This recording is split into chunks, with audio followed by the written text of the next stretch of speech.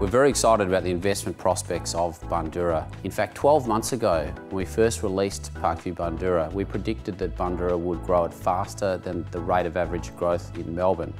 We thought around 8%, maybe 10. Well, in fact, it's exceeded that. In the last quarter alone, apartment price growth in Bundoora has been 16.8%.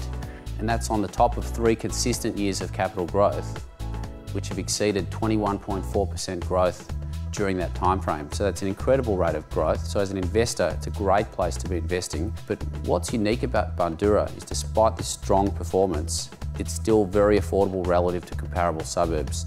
Unit prices are still only $425,000 on average, and that's for one, two, and three bedroom apartments. So it's still very affordable. It still has a long way to go, and now's a great time to be investing.